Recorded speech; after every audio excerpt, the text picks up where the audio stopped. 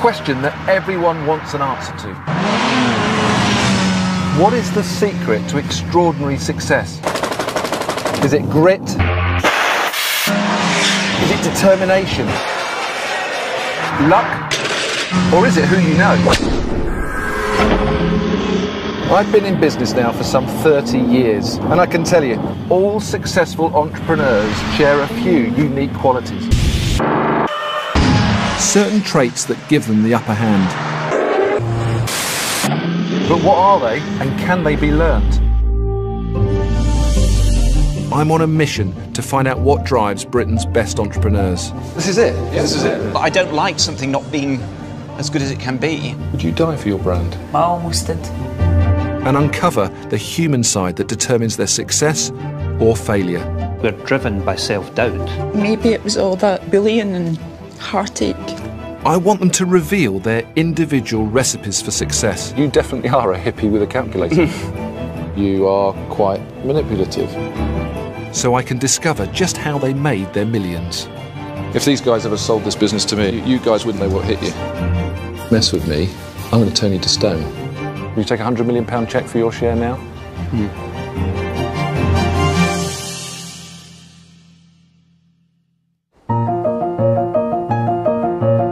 Success in business isn't a fine science. I've turned tiny startups into multi million pound companies. Not all of my ventures have succeeded. Business is tough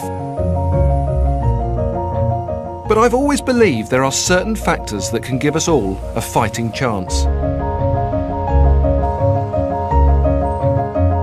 I'm on a journey to get inside the minds of two of the country's top business people, and I'm hoping to discover the ways in which the most unlikely characters become multi-millionaires. I'll be spending time with Richard Reed, founder of a smoothie company with a £165 million turnover and Michelle Mone, the self made inspiration behind a multi million pound lingerie business and who, according to the Rich List, is worth £50 million. Have they both followed the same blueprint to success, or is it their difference that matters most? My journey begins at Fruit Towers in West London, the home of the most successful smoothie company in the UK, and its co founder, Richard Reed. Oh, the tie's off right, today. Look at that, the tie's no off. Tie, no tie. How are you? Good to see Good. you. you How's well? it going? Very Have good. you seen the difference to the way that you travel? Yeah, but I must We're admit, grass-covered vans and you're this thing. I want to be in the grass-covered van. Yeah? It's good fun actually, it dances. It's got hydraulics, so it bounces around, and you can blare out music for the speakers at the front. We take it to festivals, go out sampling with it, and a lot of my people have met their partners through it as well. Richard is leading a new wave of entrepreneur who have embraced a business style pioneered in the US by companies like Google. He believes that if his employees feel at home, they'll be extra productive. And despite opting for an open collar, I still felt overdressed. It almost doesn't look like a working environment, though. It looks like like a like a London Play Centre sort of style. well, it kind of is.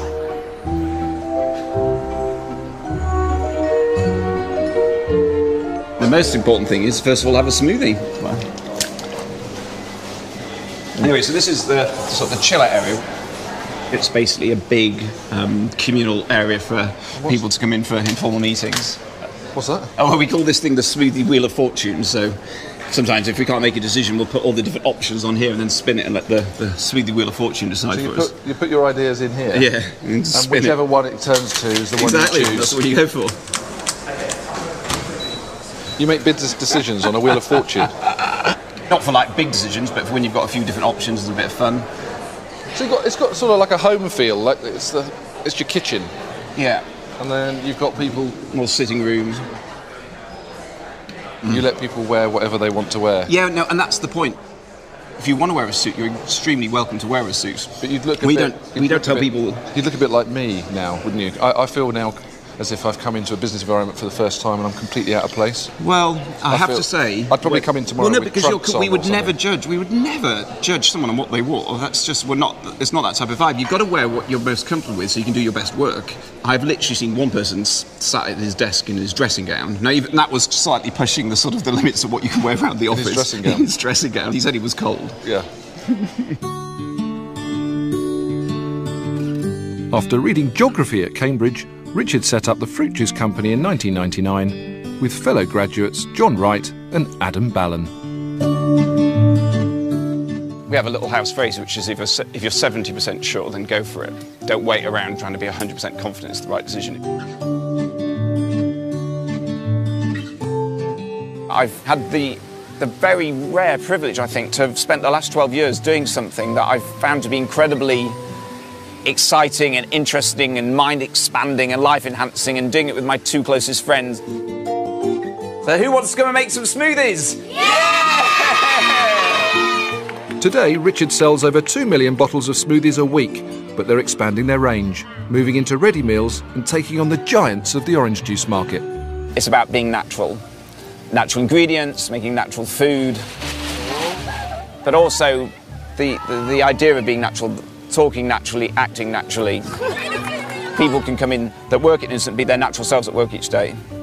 Kimberly is joining us as our new purchase ledger specialist. She can make the sound of a dolphin. we won't hide behind some sort of weird corporate facade, we'll just be who we are. It's always good to be exactly who you are, as long as you realise that running a business is about making money. And I wanted to find out if Richard had the money making gene. When did you actually feel or think to yourself, you know what? I'm an entrepreneur. Uh, it was I was 16 and I was working in a dog biscuit factory in Huddersfield, and my job paid two pounds an hour, and the task I was assigned to get down on my hands and knees and pick up the dog biscuits off the factory floor that had fallen off the conveyor belt. So I went up to the foreman and said, "Do you have a brush I could borrow? If you had a brush uh, I could borrow, I could do this job better." And he just looked at me dead in the eyes and said, "Son, you are the brush." And I thought that that was the split second I decided, you know what, there's got to be a better way than this. So I, I left the dog biscuit factory that afternoon, went home and set up a little business called Two Men Went to Mow, which was just mowing lawns in the village where I grew up. And before I knew it, I'm billing myself out at £2.50 an hour and getting so much work that I could actually give jobs to my mates. I billed them out at 2.50 an hour, paid them 2.25 an hour, so made a little bit extra there.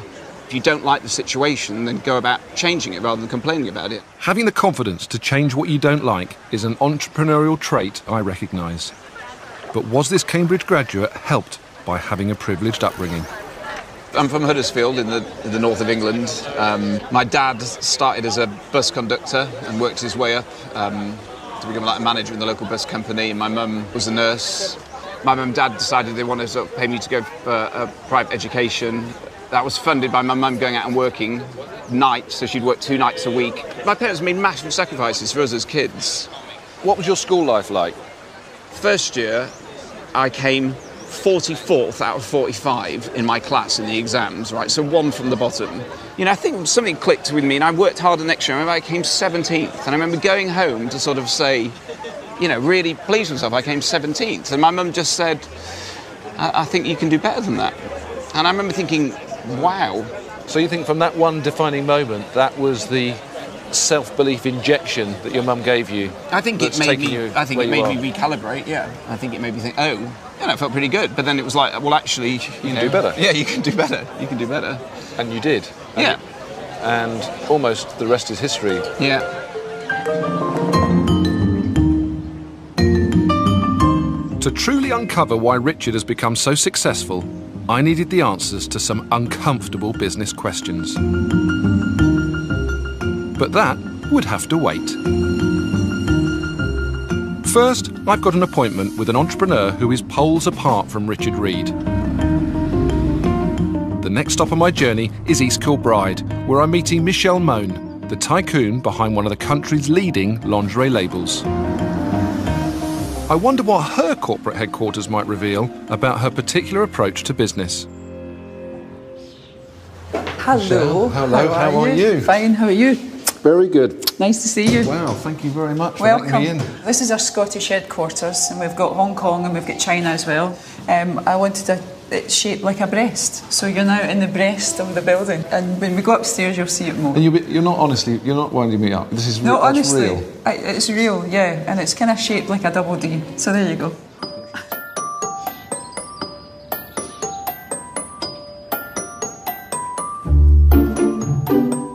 So this is the breast. Yep. This looks far too staged for me.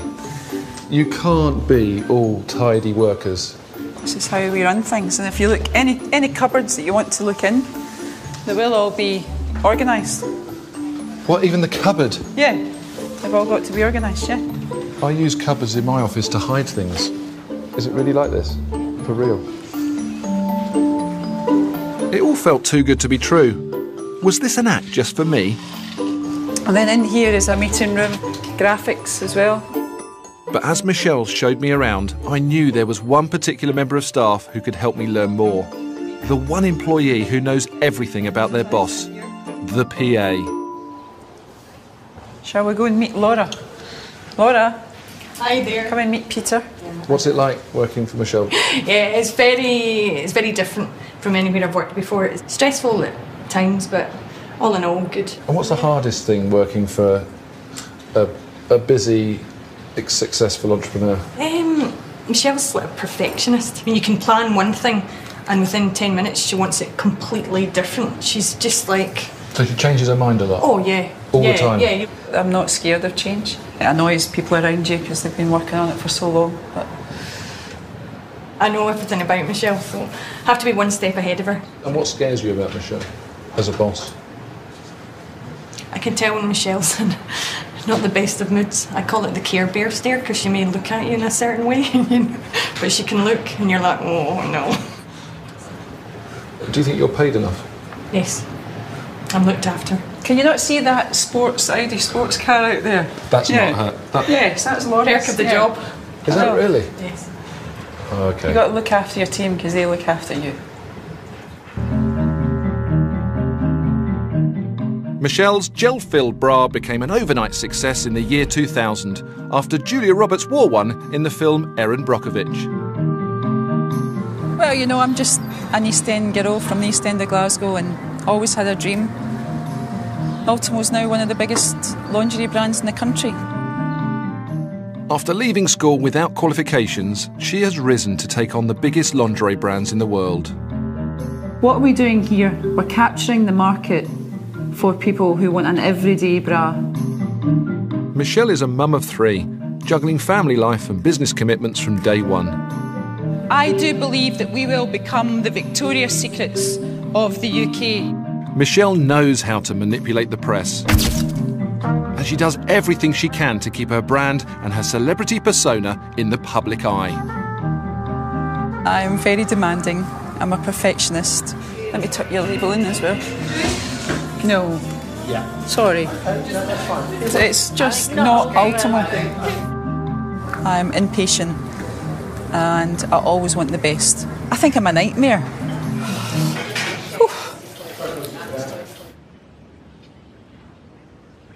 You Absolutely. expect quite a Uh, lot, I think. Well, I think that's But why we are where we are, yeah. In this very, very competitive market.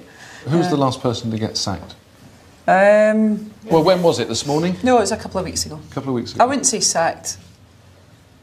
No, we just had an agreement. Okay. Okay. I'm going to find out a little bit more about this lady. Michelle comes across as a demanding leader. At Fruit Towers, the business environment that Richard and his co founders have encouraged couldn't be more different. Where's your office in this? I don't have an office. Uh, we, we're completely open plans. No one has offices. I just sit over in the corner. And, And this is yours area here. yeah, so I sit in just in this desk here now. If I'm sitting here, I can sit you and say, have a little um, chat. "Hi, Johnny, come and take a seat. Have Yeah. a chat to me." Well, we have this as well, so every, you can pull out everyone's filing cabinet. Has something you can sit on. Because again, we just want to keep it as easy as possible for people to be speaking to to each other, rather than rely on email and phone calls. We, we're big fans of going as much face to face as possible. So I don't know whether I'll be able to take you seriously. Yeah, sitting there swinging in a chair. Be, it's like it's a bit sort of. It's a bit strange, isn't it? Well, I, well, I don't think it's. I Do people honestly sit in there and swing? Huh? Do they sit in there and swing and talk to you? Um, Richard, you're, yeah. they don't. Do they? I guess I would not judge people on the seat that they sit on. I judge people. No, on no. what I'm just say finding it very what they do and- distracting. Right. I, I totally want to be accessible and have people, if they've got something they just want to ask quickly, we're not sort of putting walls up between each other. I couldn't stop thinking about dressing down someone for not performing whilst they sat swinging a basket like Little Miss Muffet. But I was trying to keep an open mind about the way Richard runs the organisation. Good afternoon, creative team. Hello. Hi, I'm Peter. If you can call it organised.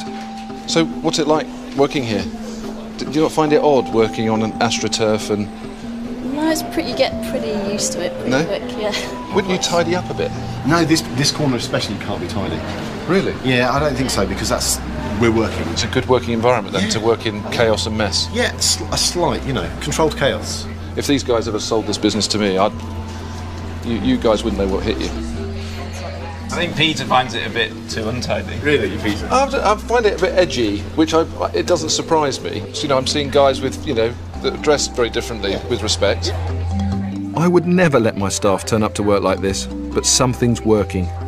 Richard's grown from nothing to having a 75% share of the smoothie market. People work harder here than they will do in 99% of businesses. People put in a huge amount of energy, personal commitment, take it very, very seriously. It's just because we're sort of wearing t-shirts doesn't mean we're not working really hard. Is he a really hard taskmaster? On the plus side, he's incredibly inspirational. He's incredibly honest. He'll tell you when something's rubbish and when something's great really quickly, which helps. He's probably uh, gets really excited sometimes and a bit carried away, and might change his mind about stuff. He's always like thinking lots of things in his head, and he walks out of meetings, which I, I didn't know it was true, but they told me he had a reputation that that's it, I'm out, and then he goes out, and you're Blimey, like, didn't know okay, Brilliant. okay. and um, You like, you enjoying this? aren't you? I'm so. Can I just say, I'm so going to come to your office with a camera and go around and ask your guys what they think about you. This is great, isn't just it? so you know. Beneath what seems like chaos, I was starting to see how Richard inspires his staff to work hard for him. Up in Glasgow, I had an inkling that Michelle Mone takes a much more traditional and orderly approach. Okay, so this is my room. Wow, it's like a hotel room. I have never seen post it notes so evenly spread and so perfectly placed. Yep, massive OCD. Yep, I've had it for years, since I was a child. That's exactly how I run my life. I get four hours sleep a night. And, So you're like um, Maggie Thatcher then, four hours sleep. She's- That's what people say, yeah. So are you the, the iron lady of, of bra and knickers? I do, maybe. My husband says, get that bloody Blackberry out of this bedroom. Your husband's away. your partner in the business, so Yes. he's, he's been there from the start, he's seen it grow. Yep, he doesn't like the limelight at all, and people think that it's just all me, but actually, you know, he's the managing director and very talented at what he does as well. So he's very much involved in the business. Yeah, very much so. But whilst our husband keeps a low profile, this tactical publicist is out there mixing it with the rich and famous. But it's not just for fun. Partnering with good looking celebrities is all part of her PR strategy. So these are all of your girls, are they? Or a selection Um, of? Yeah, a selection of, not all of them. I, reckon, Um, I recognise you got Rachel Hunter. Rachel Hunter, Penny Lancaster, Helena Christensen, Sarah Harding, uh, Mel B, and the list goes on and on and on. Wow. Yeah. In 2003, Michelle hit the publicity jackpot when she dropped Rod Stewart's girlfriend Penny Lancaster and replaced her with Rachel Hunter, his ex wife. Was it a tactical move to get Penny, Um, Penny on board? Well, I worked with Penny for two years, and yes, we became close and everything else. And but things just went, um, just things changed. It went on for months and months and months. But you know, I really did affect me personally. How much of that was a turning point for your business in, in a positive way? Uh, massive, because it was worldwide press for the, the brand. It's the Richard Branson School of PR. Create a multi million pound business and use the popular press as free advertising for it. What? Is that wallpaper? Yeah, it's wallpaper. Uh huh. I thought it would be quite a nice idea to turn one wall into wallpaper. Yeah. Michelle Mone. That's it for my OBE. Michelle Mone. Yeah. Any more? Michelle With Mel. Oh, with Mel B. That's New York Fashion Week. The Mail, Michelle. Yeah. What's that one, Michelle? Apprentice, yeah. Hello Magazine, Michelle. Hello. Slim down, Michelle. yeah. Oh my goodness. The Michelle wall. There's a storyboard here.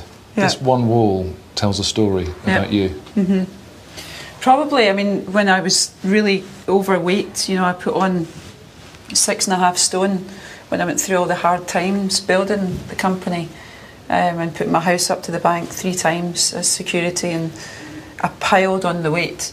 And now there's a picture up there where I finally lost six stone. Would you die for your brand? Oh, that's pretty well. I've got kids, but to put it this way, I, when I tell you the story about how we almost um, went bust, um, I almost did. Yeah, Wow. I would go from here to hell for Ultimo and the rest of our brands as well. Michelle seems like an uncompromising boss. But to fully understand how she became a force in the lingerie business, I needed to hear how it all began.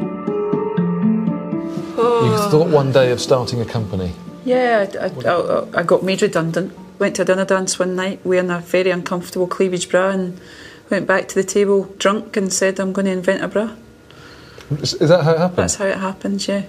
And uh, three years I worked from my bedroom, got into debt of £240,000, begged, robbed. Meanwhile, my, my husband just, you know, kept saying I was nuts. And I went to the launch in London and we had surgeons, well, actors dressed as surgeons. I dressed them all up as plastic surgeons saying ban the Ultimo bra. And I got so much press coverage. And the police came up and said, Who's responsible for this? I said, Me. And he says, Well, move right now or we're going to arrest you. I said, I'll get me more publicity. arrest me. So you recognised at that point that your business, for it to be successful, was based around publicity. I had no money. I had no money for advertising. So you I was had to get it. competing in a in an industry where some of the big lingerie brands would spend two million pounds launching a product. I had five hundred pounds left within five hours. Yeah. But you very much strike me as all or nothing. Running this business and building this business has probably taken a lot away from my life, but it is my life. I'm starting to see two sides to Michelle now that's starting to come out for me.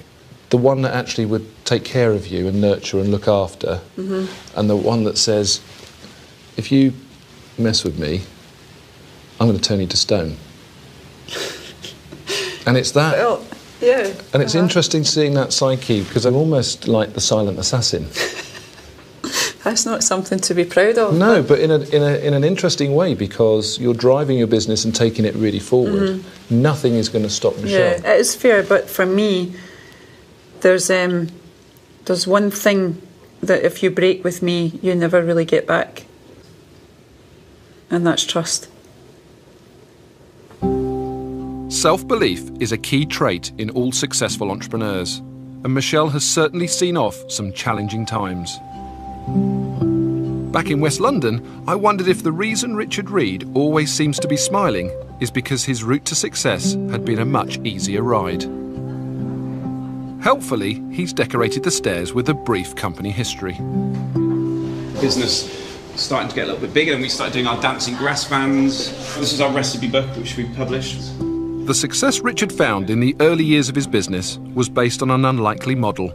It seems like they were more focused on giving money away than actually making it. This is Fruitstock, which is a, a festival that we did in Regent's Park. It was free to go to. We did it as a thank you to all our drinkers. We give 10% of our profits to charity each year, mainly to uh, a thing called the Innocent Foundation, which is in countries in the developing world where the fruit comes from.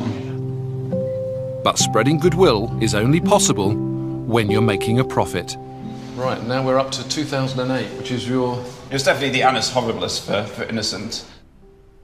After four years of seamless growth, Richard had to face the harsh realities of running a multi million pound business. A new competitor launched, the pound crashed, and fruit prices rocketed, almost spelling the end. We haven't put our prices up once in 10 years. And secondly, a big competitor launched against us and took a large part of our market share, which meant that we lost a, a huge amount of money. In How, fact, how much did you lose? Oh, it was like it's in the millions, and it was more. We lost more in that year of 2008 than we made in the entire company's history. So it, it wiped out any profits that we'd we'd been making. He had a tough decision to make drastically downsize the operation or sell a stake in the business. Relief came in the unlikely form of Coca Cola. Yeah, so these guys, in, These guys invested in, in, in early 2009 in a way that's just been it's been brilliant for the business because myself, Adam, and John have retained full control of the business, and as you can see, we're we're continuing to do business in, in a very innocent way. I'm sure we're going to talk more about that. Yeah, no, absolutely, absolutely. Was surprised that a business focused on health and charity sought a partnership with one of the biggest corporate names in the fizzy drinks market. But before I challenged him about it, I needed to get a more precise picture of Richard and his business. So, Richard, what's happening in there? So this is our commercial team. We test the adverts to. We, we want to make sure they work, and this is you test the advert in advance to see how does it score, and people do they do they like it, do they remember it, do they uh, relate it to innocent, and so you can you can judge before you spend all your money on media, which is going to be the ad that people like the most, and that's essentially what those different scores are testing. There's quite serious stuff happening in this room, then. Yes, no, absolutely. We do take things seriously. Fruit Towers is an interesting contradiction. At first, you walk through the doors and think you've entered Willy Wonka's chocolate factory. Rich, do you want to cut anything up? No, I like watching Peter. But as I was joining in the fun in the juice lab, I was starting to see where the genius of this business lay. Behind the AstroTurf and the lunchtime barbecues, there's a hierarchy that demands the very best from its people.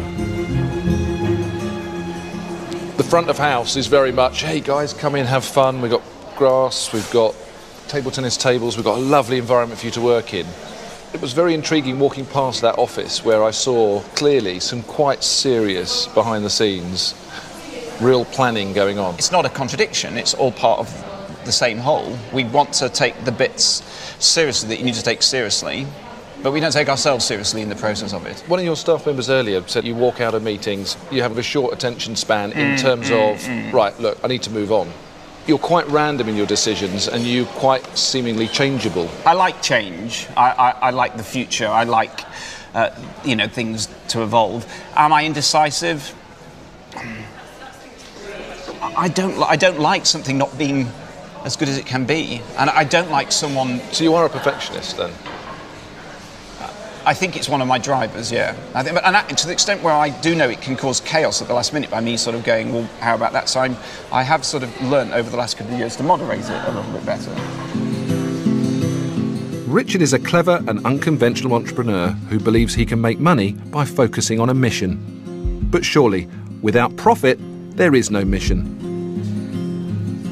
If you are and speak to lots of entrepreneurs all up and down the country and you say to them, what is your main objective?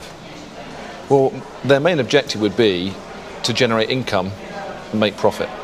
See, I don't agree. And that's not your objective at all. I don't agree. I think, in my experience, when you look at the world's greatest businesses, they are led primarily by a deeply felt sense of mission.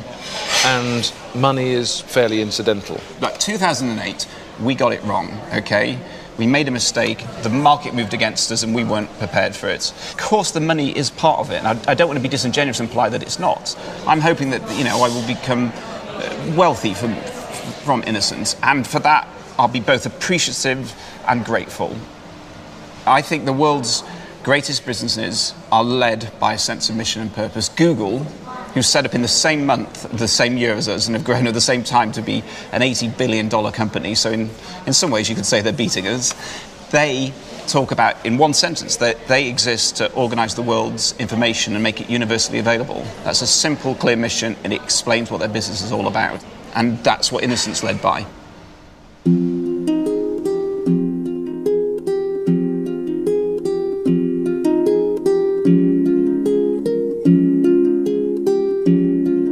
Journey has really just begun. But I was already discovering that an entrepreneur's business is very much a reflection of who they are as people. Michelle Mone is incredibly tenacious, but I wondered where her relentless drive had come from. And if her formula for success could last forever. At first glance, Richard Reed's approach appears counterintuitive, concentrating on the good his brand can achieve rather than the profit. But we've also heard from his childhood just how calculating he can be. Most successful businessmen and women I know can pinpoint exactly where and when their entrepreneurial journey began. To find out where that was for Richard and Michelle, I'm visiting places that lie at opposite ends of the country and of the social spectrum. Michelle is taking me on a tour of her hometown of Gallowgate. You're getting into the east end of Glasgow, really down to earth, hard-working uh, people. And Richard is showing me round Cambridge, the city where his entrepreneurial journey began. In Glasgow, I was to find the rags to riches cliche for real. Lots and lots of memories growing up here, and this is where I started my first um, business when I was 10, 10 years old. You were 10? Yeah, So delivering the papers in the East End. And then when I was 11, I had 17 teenagers working for me. Um, So you had a bunch of people working for you at 11. I did, yeah. The first stop would be Michelle's secondary school, a place she left without any qualifications at the age of 15. This is it? This is it, yeah. This was where she was told that a future working down the local supermarket was the best she could expect.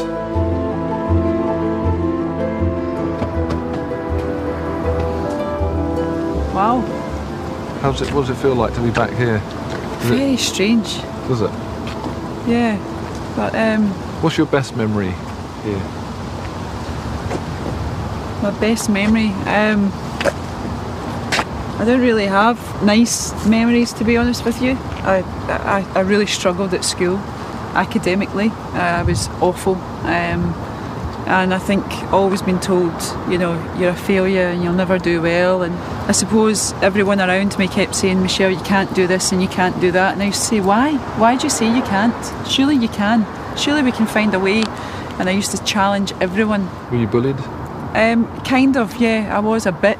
Um, yeah, because I wore my uniform and So you, were my you mum always and dad smart? were always, no, you wear your uniform and And what about your teachers? Did they have a, a little inkling that Michelle Mone was going to become a successful entrepreneur? I don't think so. I remember when I was 15, I had to go and see my careers teacher. Uh, I says, I want to be an entrepreneur. And she said, What does that mean?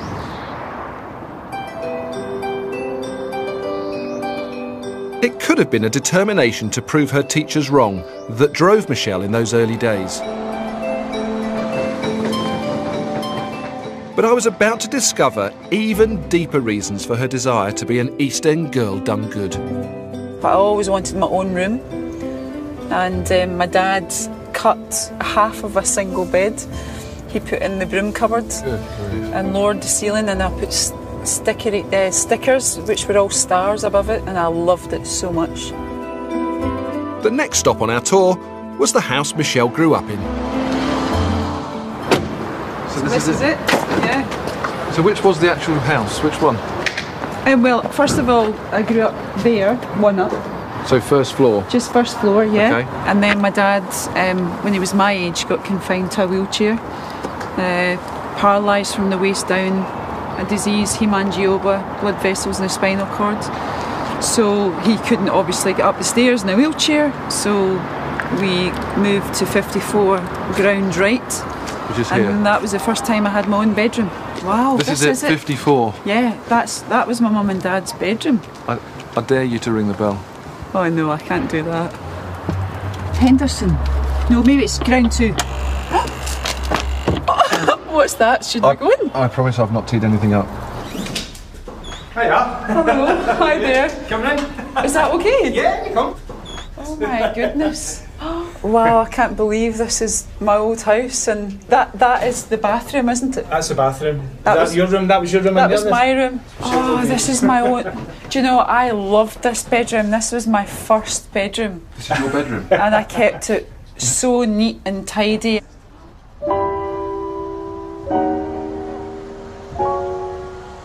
From this tenement, Michelle embarked on a career in publicity that began with occasional work as a model.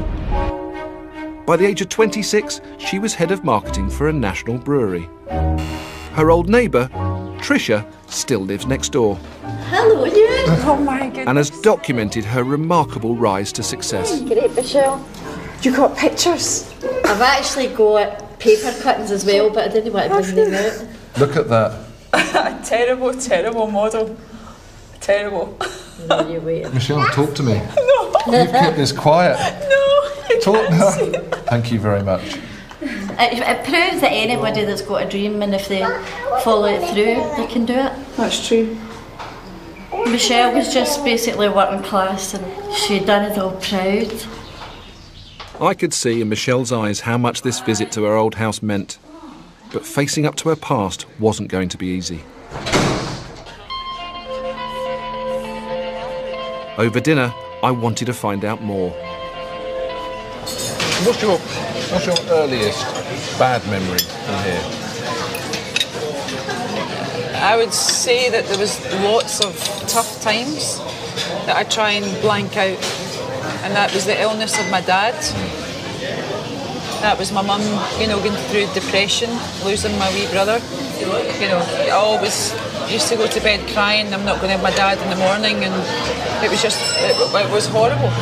And how old were you when your brother died? Um, I was about eight years old. Yeah. So I remember all of it. You do? Every single bit of it, yeah. Uh, You've come from a hard background. You've spent all of your life trying to get out of. So there's something that's, that makes Michelle special. Do you see yourself as special? Or do you see yourself as lucky? I grew up with, you know, bad news after bad news, and I didn't want that. I will not accept when people say because you're from the East End you cannot be successful.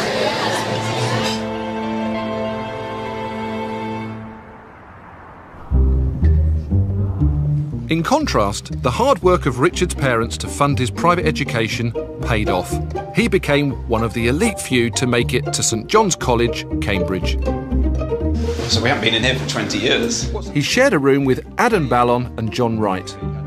Together, they would become the co founders of the famous smoothie brand. So this is the canteen. Yeah. Oh, yes. Yeah. The innocent canteen. Three meals a day for three years here, pretty much. Yeah. Is that right? and Dinner.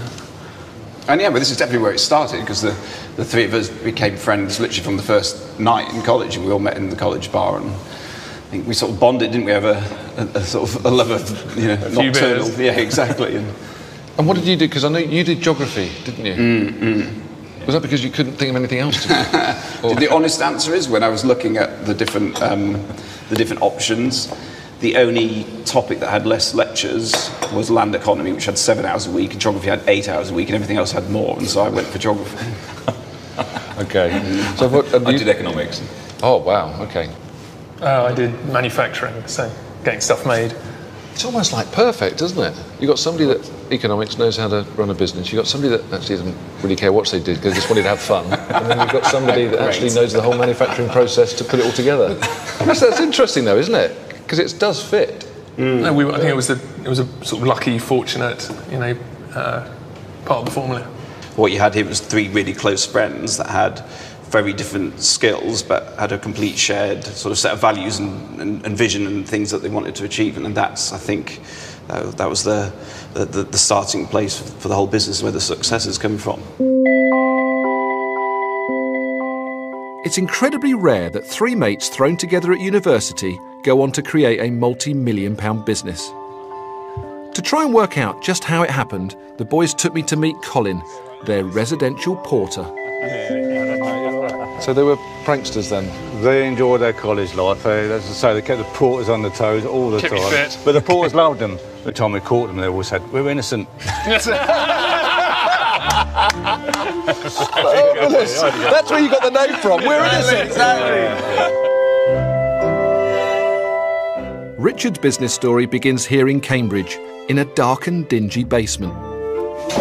Well, this is it. Yeah, this is it. That's an underground garage. Yeah, exactly. The enterprising trio transformed this boiler room into the most popular student nightclub for miles around. We'd be turning people away at the door. I think people, people were coming for the free pizza, not the music. that was our, that was our dreadful original strategy that we offered, offered free pizza at nine o'clock to try and get people down early. And what happened is a load of rugby boys turned up, ate the free pizza, and then left. And so we were left with an empty nightclub and full of pizza boxes. This is where it all started. I had a lot of fun while you did it. Yeah, absolutely. And that hasn't, that doesn't seem to have changed much. No, it's it's the it's just one of the best bits of you know you're doing it with your two closest mates, so it's just such good fun.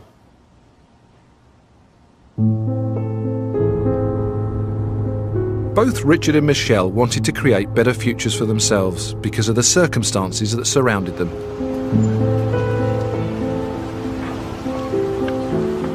Richard desperately wanted to make his parents proud and repay the sacrifices they had made to give him a world class education. And Michelle was driven by a desire to do better than those around her. Oh, how nice is that? So, what is it that links all entrepreneurs? Is there a formula for making millions? If you ask the investors who discovered Michelle and Richard, it wasn't their business plans that impressed them. Maurice Pinto bought 18% of Innocent for a quarter of a million pounds. I think care less about what the business of the industry is or what the business idea is and more about the people.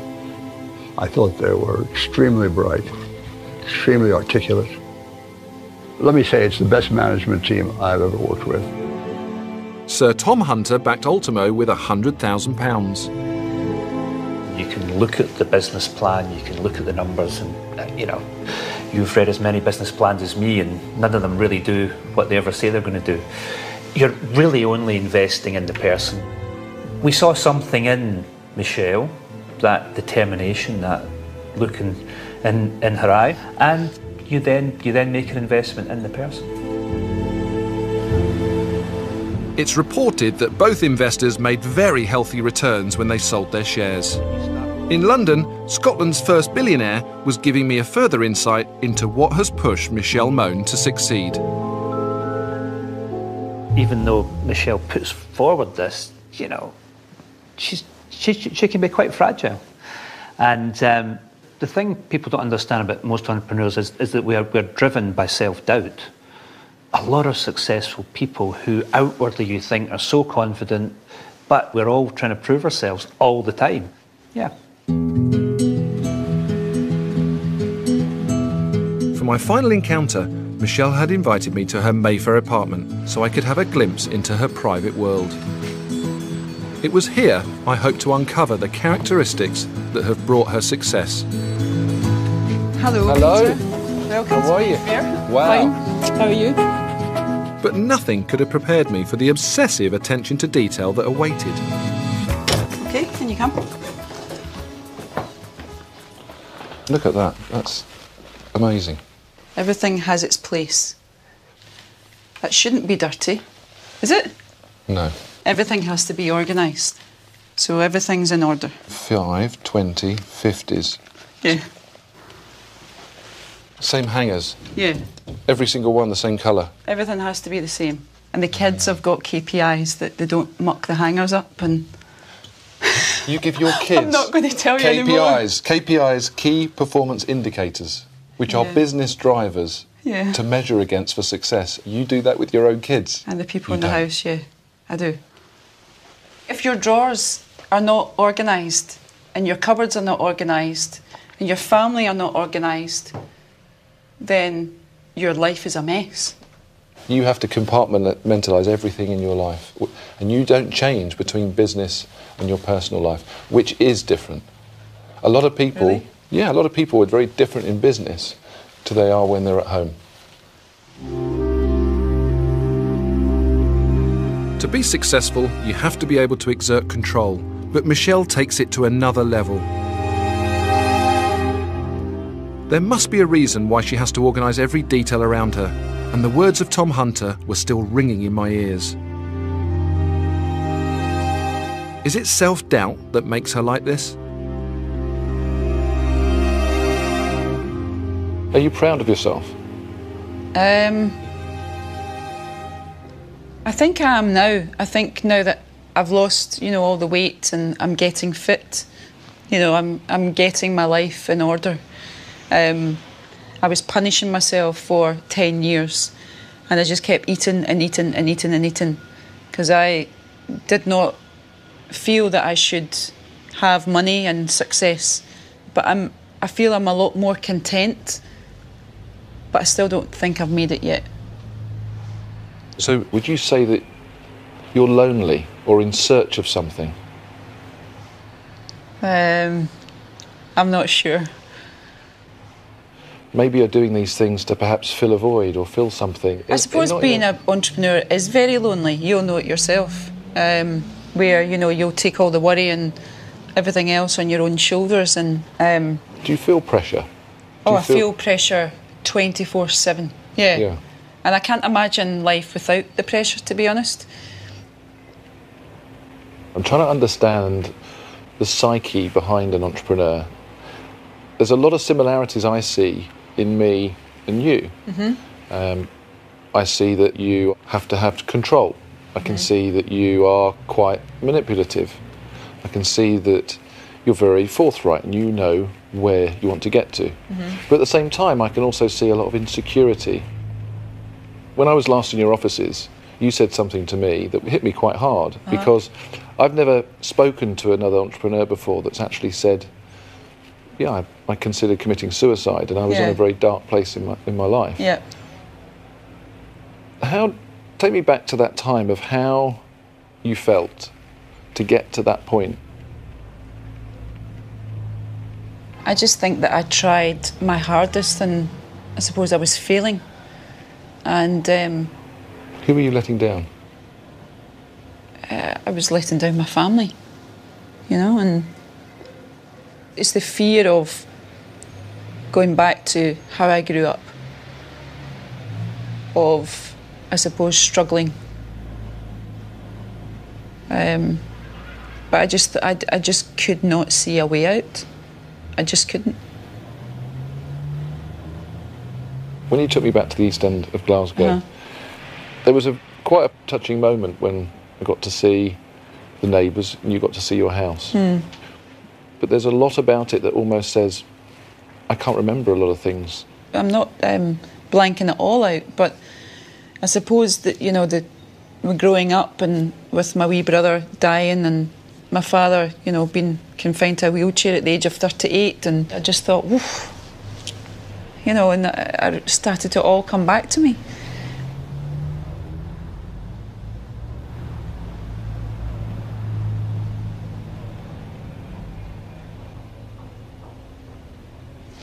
Oh dear, I said I wouldn't cry. um, but, but maybe it was all that just bullying and heartache that's made me fight to get to here.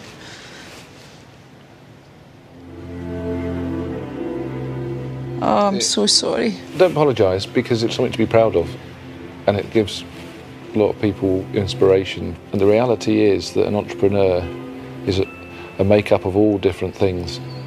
You've been through a journey, haven't you? Yes.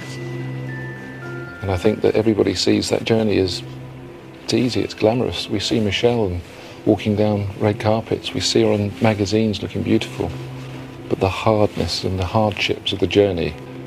And I would say that the next few years, in pursuit of happiness and success, I think you're going to achieve it.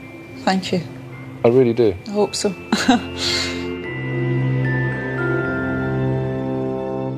Uncovering the reason why someone strives for perfection can be an emotional experience. I wondered if my final meeting with Richard would be so highly charged. I'm in the Malvern Hills to examine the relationship between Richard and one of his suppliers, to hopefully uncover the savvy businessman behind the self proclaimed hippie brand. There's nothing hippie about him. Nothing. Hello? Well, hello. Although I've never been a fly on the wall in a meeting, he does not suffer fools gladly. Where's the suit? What do you think? Pretty good. Red and green. Yeah, is that matching? We've not planned this. How are you? Now, can I introduce Ed? Edward. It's one of our most treasured farmers. So this is all, they're all black currants that we see now? Yeah. Wow. And you've been working together for a while? Mm, we started in 2004. That was our Correct. first year that we, and we did. We bought less than a ton of Ed's black currants, whereas this year we've just bought 210 tons. What I was really interested in was how Richard and Ed made money from each other. It can't be cheap buying homegrown fruit, and I was keen to find out about their margins. Probably for the first time in history, our price to you per brix is lower than our price to the concentrate people per brix. I doubt if that's ever happened before. That's a decision on our part. So the prices have gone up, but we want these guys to be there tomorrow. So, interesting concept here. Richard and his business is supporting a local farmer. Mhm. Local farmer, actually, in reality, is supporting Richard. Yes. You've got a very interesting partnership between the two of you. Yes. Yes. Correct. And we, uh, I think we both share this philosophy that we will do better over the longer term by collaborating. It is a mutually beneficial relationship. But that's the key. It's not better for Ed. He's financially willing to lower the price of that quality product to Ah. you to support your model. Well, I think we should let Ed say what Ed thinks. Well, the black currant market is sometimes referred to as being the, the, the pig of the soft fruit industry. It is very cyclical. And to always insist on the jackpot in the peak year is not necessarily good business. They can take the product off the shelf tomorrow. Yeah. You know, it can price itself off the shelf. We want that product to still be there. Richard looked uncomfortable discussing profit margins with a prize supplier. But I was relieved to discover that he does focus on a money making model. After all, without profit, he can't give to charity. The clever thing is, the farmer has bought into Richard's mission, and that's the very reason why he offers such a great deal. Now that's a shrewd way of doing business. You have naturally found a place where you can really represent your brand by creating and maintaining an image. You know, everybody's thinking, oh, this guy, why doesn't everybody be like Richard? You know, he starts a business, he's got high ethics, he's helping the local community, and he gives away to charity. But the reality is, you are all of those things, but you're also a very tactical, very shrewd entrepreneur as well. I take that as a big compliment. There's no money to give to charity if you don't make any money in the first place. So we are absolutely proud to be entrepreneurs and businessmen and capitalists, and we have an altruistic aim in addition to that as well. I tell you, the world would be a very different place if more businesses did, because it's basically saying if we just took 10% and made sure it was allocated to people and to countries that quite frankly need it more than we do, it would redistribute wealth whilst absolutely still protecting the capitalist system that we found to be the best way of working. You, you, you definitely are a hippie with a calculator. we are not just um, six formers messing around. I think some people assume that because we sometimes wear t shirts to work, but what you wear does not reflect on how hard you work. It's been a big, tough challenge all of the way. It's been extremely enjoyable and exciting too. The way Richard does business is admirable, and for that I have to give him and his partners credit. But there was still a burning question I had to ask. With such a strong business ethos, how did they justify selling a majority share of their business to Coca Cola? if you'd known me three years ago and I'd said, Richard, you got this deal with Coca Cola, you can meet them four times a year, they want you to run the business, and they're going to give you 30 million. And I said, Richard, I'm going to give you the same deal, I'll give you 30 million. Which one would you choose, Coca Cola or Peter Jones? Well, after having seen you on Dragon's Den, I would definitely choose Coca Cola. definitely. That's outrageous. Man, You're a tough negotiator, and you definitely wouldn't have extended the terms that Coca Cola did. But I kind of liken it to a little bit like I've got a nice, seriously famous health club chain, and Cadbury's invest in my business. Was there any of the three of you that thought, I don't want to do this? Without that money coming in from Coke, we would have been a business hugely retrenching. We would have had to make half the team redundant. We would have had to cancel our international expansion. I feel like I'm interviewing like a politician. You're not answering my question. Oh, what was the great? Did, did, did any of Did us- any of you say no? No, we were all absolutely. So you were all all unanimous? 100%, all three of us. It was a very unusual deal that they did, where they would put in money, but absolutely take a back seat, allowing myself, Adam, and Jon to keep full control of the company.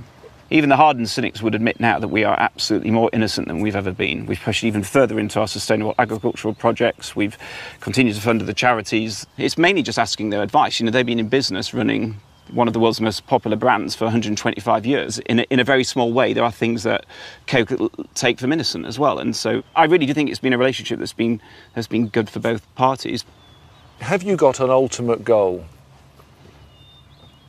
I want to get rich and die poor. The idea is I would love to sort of, you know, get to be, you know, in a strong position financially, but by the end of life have, you know, given it away. Coca Cola come to you knocking on the door and saying, guys, we want to buy you out. Is that a conversation that you will have? Hmm. Don't know, actually. 20 million each? 50 million? Keep going, mate.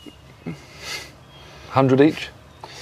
What price do you put on it? I don't know, is the short answer. I mean, You take a 100 million pound cheque for your share now? well, you've just gone from 20 to 50 to 120 seconds, so I'm going to hold that a little bit further. 100 million for your share in Innocent. Cash.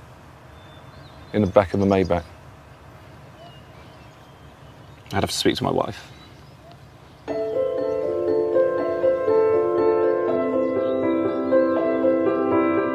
Unsurprisingly, it was an indecisive response from Richard, but I felt I'd come as close as possible to him admitting he's in it for the money.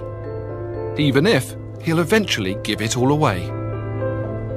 Spending time with Michelle Mone was both enjoyable and intriguing. Under her tough exterior, I found someone who is quite fragile. Not a trait you'd openly associate with being an entrepreneur. But like many of us, it's that self doubt that drives her.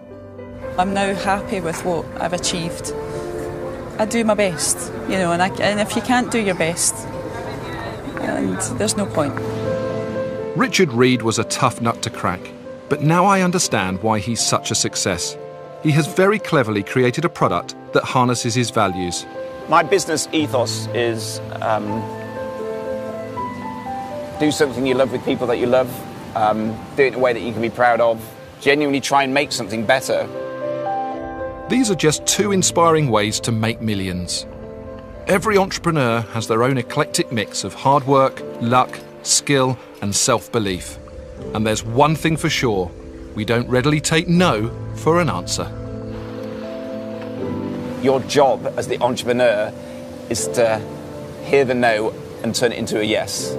I don't just accept no. I always say why, why, why. If I don't take risks every single day, life becomes boring.